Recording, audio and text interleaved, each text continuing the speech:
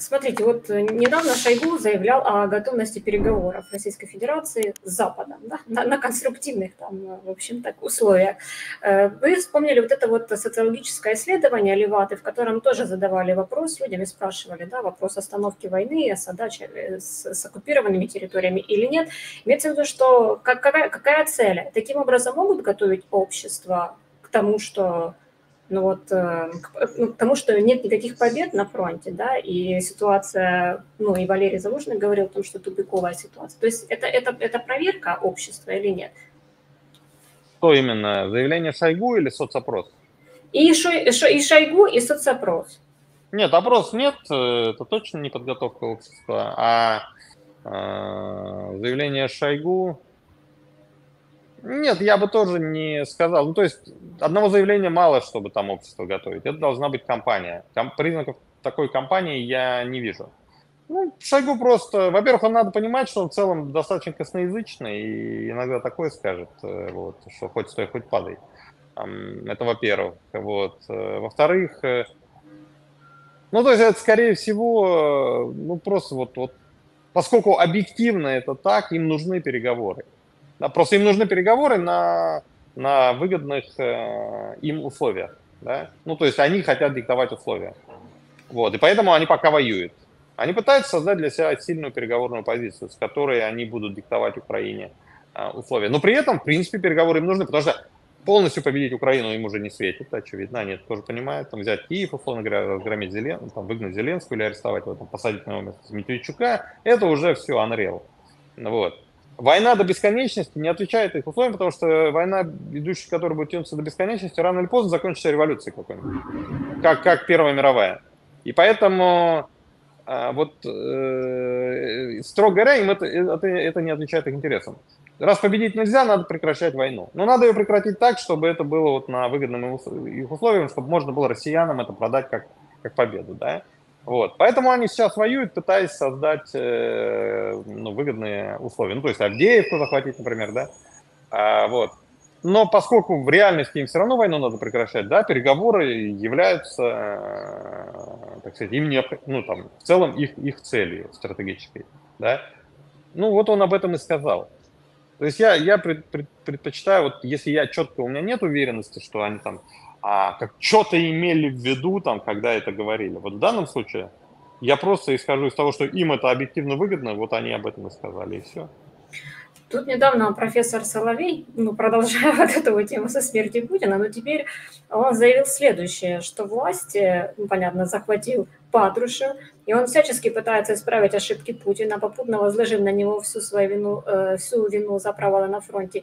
И при этом Патрушев предложил США обменять Украину на Израиль. РФ со своей стороны обязуется прекратить помогать исламистам, и первый шаг уже сделан, сотрудничество с Ираном заморожено, помощь Хамаса прекращена. Э, вот вы тоже считаете, что это ИПСО, и какая цель этого? Я не вижу признаков э, вот этого того, что там помощь Хамасу заморожена, прекращена. Вот. Про то, что сотрудничество с Ираном заморожено, я тоже не, не слышал. Поэтому я не могу вот по этому поводу ничего сказать, сори. Ну, то есть сам по себе размен на уровне логики такой, да, ну, он там теоретически возможен. Это не будет полный размен, да, вот что типа вот вам Израиль, а вам Украина, да. А, нет, но какие-то подвижки компромиссы там возможны, да, ну, то есть какие-то промежуточные решения, дескать, то есть американцы принимают от россиян уменьшение, так сказать, поддержки а, Хамас как э, условие, да, с которым надо считаться. И после этого начинают, значит, там поддавливать Зеленского, дескать, давай соглашайся на переговоры. Ну вот, в какой-то части в такой это возможно. Но так, чтобы полностью, э, э, значит, э, украинцы, ой, американцы сказали, все, мы, от, мы, мы про вас забыли, ребята, разбирайтесь сами, пока у нас Израиль есть. Такого не будет точно. А вас, по вашему мнению, как может закончиться э, война Израиля с Хамасом? Однозначно победа Израиля. Вот. Вопрос, сколько времени это займет. То есть там э, я не думаю, что промежуточные варианты возможны. То есть Израиль э, после вот всего, что произошло, он не, не остановится на полпути. Э, чего бы это ему не стоило, понимаете? Если Хамас сохранит свою власть в Газе, это значит снова жить в ожидании Вот повторение этого всего. Ну, то есть каждую ночь засыпая, не знаю, проснешься ты или нет. Вот. Там просто, если себе такое представить, там на юге никто жить не будет, на юге Израиля. Ну, то есть страна, она и так маленькая, да? Там половина ее территории, она обезлюдит, все, все уедут в центр, ну или за границу там, да. Это для страны катастрофа. Поэтому я не верю, что Израиль э, остановится на полдороге. То есть Хамас будет э, уничтожен в Газе, как минимум. Ну, то есть израильтяне могут дать хамасовцам возможность отступить, например, уехать просто с территории Газа куда-то там, да. Ну, то есть вы, у них руководство в Катаре сидит, там в Турции сидит, да. Ну, окей, Бесадар, езжайте туда. Да, то есть если цена там слишком много потерь, слишком большие потери, слишком большое количество жертв среди мирного населения, и, соответственно, ну, надо сворачиваться, хватит бомбить, да, вот это ощущение, оно возможно. Оно уже сейчас даже формируется, да. Но просто так, ну все, мы устали, пусть Хамас там дальше продолжает строить свои бункеры и готовится к следующему нападению на Израиль, все равно не будет. Да, могут просто сказать, окей, вот вам коридор, да, убирайтесь отсюда. Ну, такая сделка, я думаю, возможна. Но из газа они должны будут все равно уйти. Ну, а потом будут сидеть где-нибудь за границей, так сказать, и там теоретизировать. Не, будут пытаться как, какую-то другую инфраструктуру там создать террористическую, проникать куда-то в другие места. Вот. Но из газа им придется уйти. Вот. А вас недавно Путин на встрече с представителями общественной палаты заявил, что нынешняя Россия похожа на Русь под артынским игом и приводил пример там, Александра Невского – вот вы, скажем так, что увидели вот и в этой его речи? Возможно, это объяснение, почему Россия превратилась в вассала Китая, и как раз вот это вот, а, ну, вот он такие вот параллели проводит. Ну, я сразу, как это услышал, я так и написал, что Путин, говоря «Орда», как это, помните у Маяковского, мы говорим «партия», подразумеваем Ленин.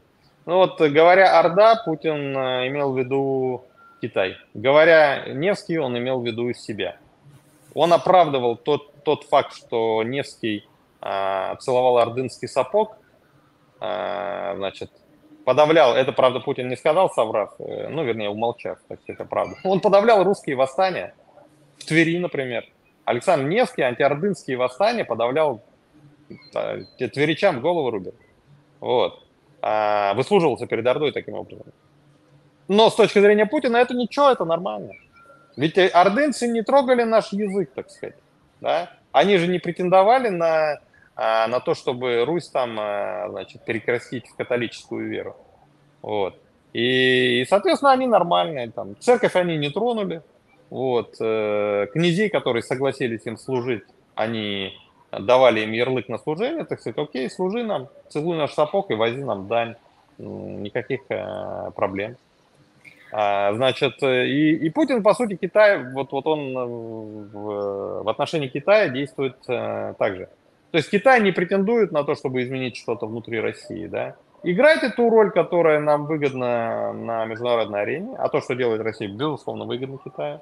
Пока Америка занята, э, значит, по конфликтам Путина с Украиной, войной этой, а у Китая руки развязаны, да. Э, американцы сами к китайцам приходят, и говорят там, успокойте своего Путина, чтобы он ядерную бомбу случайно там не взорвал. Да? Что, китайцам плохо, что ли? Понимаете?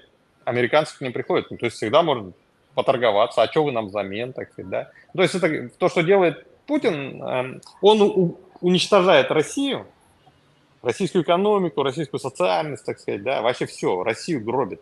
Готовит, по сути, развал страны, вот эти межнациональные противоречия, да, усиливает. Вот а, усиливает протестное настроение. Это, это, он, он, он реально а, такую антироссийскую политику ведет в стратегическом плане и про китайскую политику. Вот то же самое, что делал Александр Невский. И поэтому Путин а, пытается провести эту параллель, что вот Невский хороший, и я, значит, хороший. Он, он ордынский сапог лизал, а я под Китай, Китай лег. Ну, нормально, Китай же не трогает наши скрепы. Но американцы на самом деле тоже наши скрепы трогают, так сказать. Никто не собирается там отменять православие там на Руси, да, из э, американцев. Никто не собирается отменить русский язык там э, в России. Что хочет Америка от России, так это чтобы она а, была демократичной и миролюбивой. А с точки зрения Путина это недопустимое покушение на скрепы. Ведь вот русский скреп это исконный, это же а, воевать и подавлять демократию. Вот, вот с точки зрения Путина эти скрепы. А китайцы, ну, как бы им нормально, они на это, так сказать, не покушаются. Значит, под китайцами лежать можно. Так же, как Невскому можно было лежать под Ордой. А Путина беспокоит э, будущая встреча Си Цзиньпиня и Байдена? Да, конечно. А, да, мало ли что там. Ну, то есть он же понимает, что Си Цзиньпиню он нужен как инструмент. То есть он ему не мать, не, Путин Си Цзиньпиню не мать, не сестра, не любовница, как говорил Астра Бендер. Вот, никакой ценности, вот, собственно говоря, сам по себе он не представляет. То есть для Си Цзиньпиня Путин это пешка, которую можно разменять. Вопрос в том, а, ну там, готов ли Байден заплатить за эту пешку а, столько, сколько захочется получить Си Цзиньпинь. Вот. То есть судьба Путина в данном случае вот, в значительной степени не самим Путиным определяется. Да, ее определят Си Цзиньпинь с Байденом. Конечно, нервничает.